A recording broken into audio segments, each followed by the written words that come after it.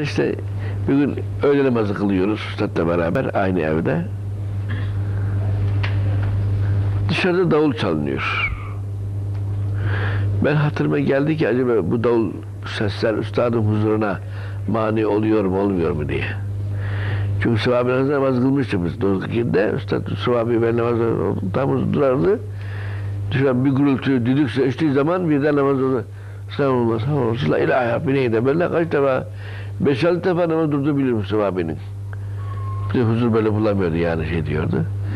Onu bildiğim için acaba üstadın da dedi ki huzuruna şey olur mu? Sen ver dedi usta, sen ver usta dedi. Eskiden dedi bu sesler benim huzur mani oluyordu. Şimdi mani olmuyor dedi. Yani sizin içinizden gelene cevap verir. Cevap verdi. Ben onu şöyle şey diyorum. Hani şu ağlarda var ya şu ağlar